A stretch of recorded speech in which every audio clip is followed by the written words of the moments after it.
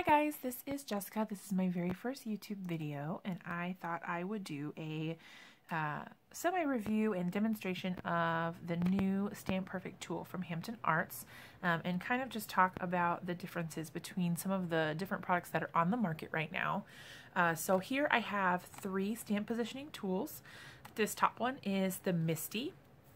It's the original stamping uh, positioning tool um, and it does have a higher price point. I got mine on sale, uh, so I think I only paid around $35 for this. This one is the Mini MISTI, um, but they do have a higher price point than the other two options that I have here today. Um, this, like I said, is the Mini MISTI, so it's the smallest of the three styles I believe that there are.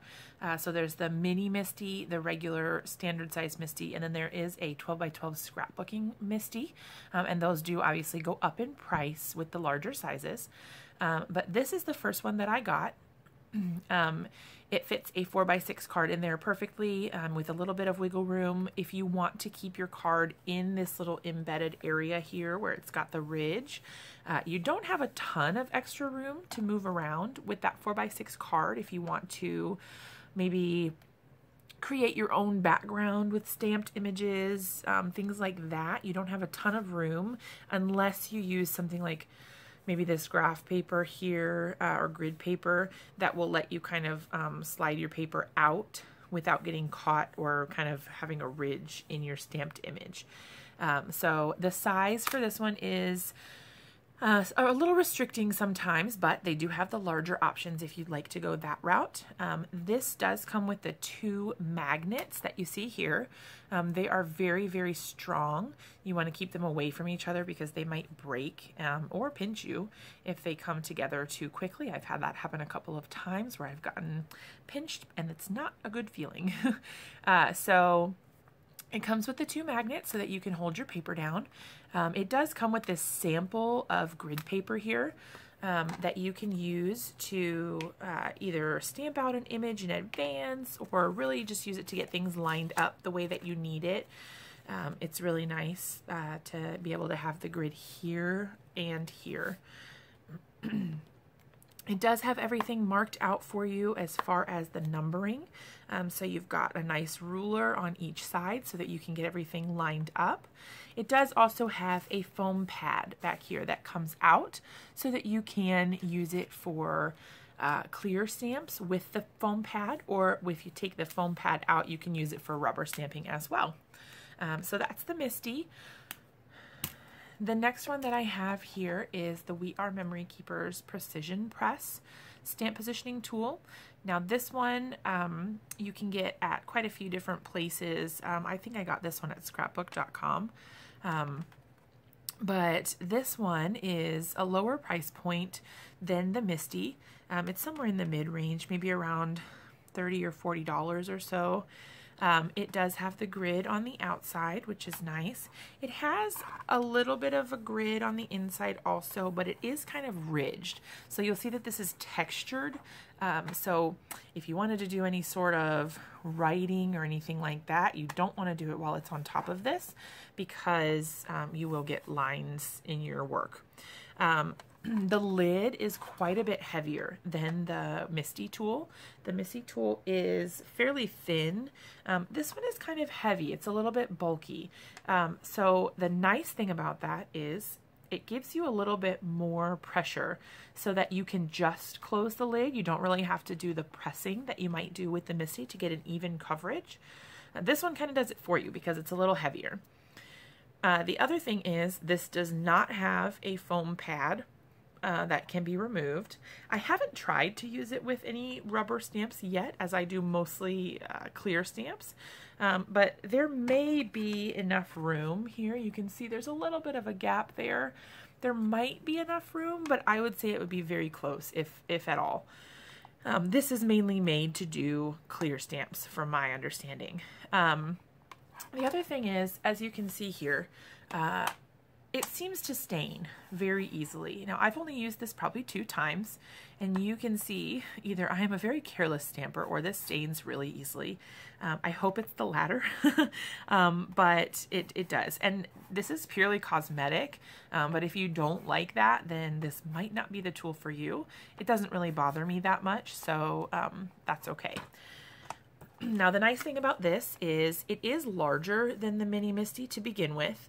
Um, it goes all the way out to 7 inches both directions, and it doesn't have the lip going all the way around. So it has the lip here and here, but not on the bottom and left edges. So you can actually use 12 by 12 scrapbook paper by turning it um, so that you can use it in all four corners. You can actually reach the center of your paper in every direction. Um, so this is great if you have a lower uh, price point and you still want to be able to get a stamp positioning tool and you are a scrapbooker. If you're a card maker, you might not need something quite as large. Um, and the Mini MISTI might work perfectly for you, but this is uh, a little bit more flexibility if you need that. the last one that I have here is the new Hampton Art Stamp Perfect Stamp Positioning Tool. Now this is new, it's only been out for just a little while, um, and I actually just took mine out of the box today and figured I would give it a try. So this one is similar in appearance to the Mini MISTI. It is larger, uh, so that's nice. It gives you a little bit more wiggle room as far as moving your stamps around and creating layouts or creating backgrounds. Um, for all intents and purposes, it's very, very similar to the MISTI. It has the thin lid. Now this one is thinner and a little bit more bendy um, than the MISTI. The MISTI uh, feels a little bit more rigid. You can probably hear this squeaking. um, the squeaking will probably drive some people nuts. Uh, it doesn't really bother me too much, but um, it does squeak every time you open and close it. Uh, I don't know if that's just mine or maybe that's all of them. I'm not sure, but if that's a deal breaker for you, maybe don't get this one. um, you can see here it does come with the two magnets, just like the MISTI does. Uh, they are also very strong and can pinch you. Um, it comes with the marked out ruler edges as well as the little lip to keep all of your um, paper in line. The foam mat does also come out and you have the grid here, just like in the MISTI, so that you can use your rubber stamps as well as your clean, uh, clear stamps with the foam pad. Um, so I thought I would just do a really quick demonstration with the Stamp Perfect. Um, I have a uh, 3x3 sheet of Neenah cardstock that I pre-cut um, that I will use. and I am actually going to use this stamp set from Altenew. It's called Beautiful Day, um, and I just love these images, so I figured this would be a great one to use. I'm going to do the large flower here. So I actually need three images. I'll just get those off and then get started. Okay, so I've got my three images here. Um, and you can see you build you build up the stamp using the different images. Uh, so what we'll do is I'll leave these two up here. So the first one that I need is the solid image. So this one is going to be the bottom layer. You always want to start with the most solid image. Mm, I'll use my magnets to keep it in place.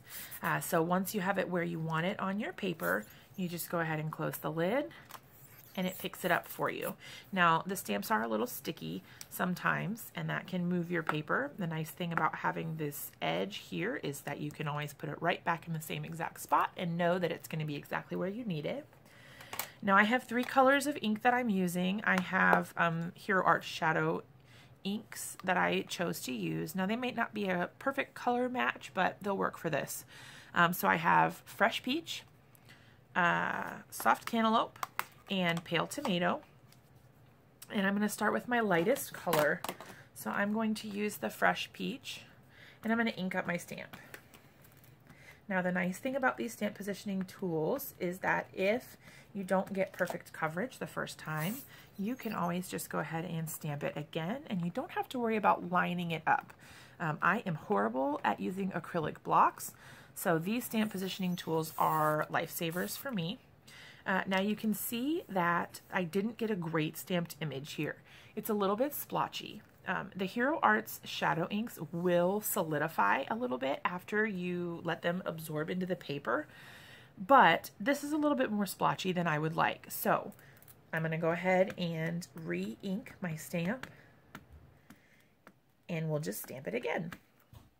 Now stamping it multiple times in the same color will make it a little bit darker.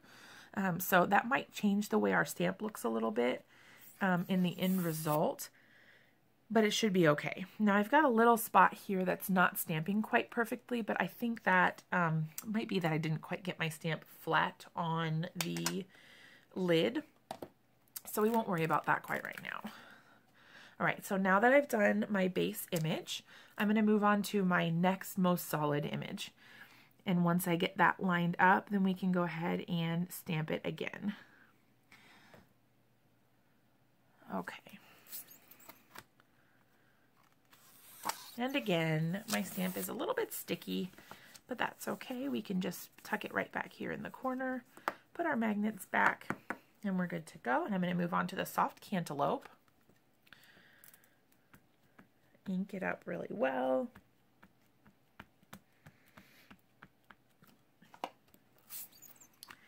And give it a little bit of pressure. Now you don't want to push very hard. Um, you don't need a ton of pressure in order to get it to work.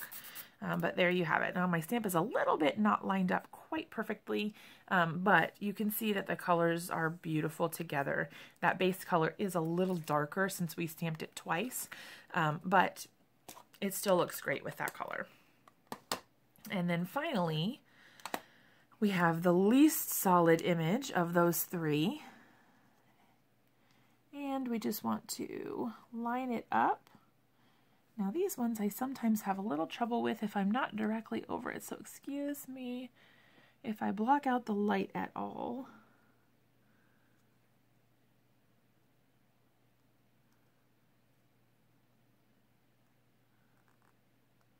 Okay. And then we're going to close the door, pick up the stamp, make sure our stamp is right where we want it go ahead and ink this up with the pale tomato. Now this is the darkest of our three colors. And close the lid.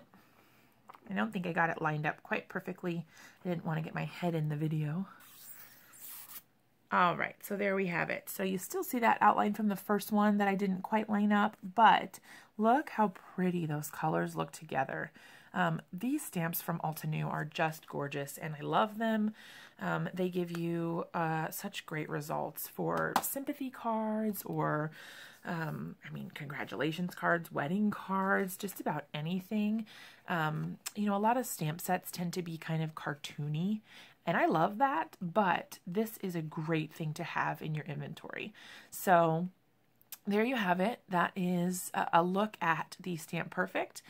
Hopefully you liked this video. If you did, go ahead and give it a thumbs up and subscribe if you'd like to see more videos like this in the future. Uh, be sure to leave me a comment and let me know what you thought of my very first YouTube video. Um, I will link to all of the products that I use in the description below. I will also have a link to my blog if you'd like to follow me there. Uh, hopefully I will see you again. Thanks for watching. Have a great day.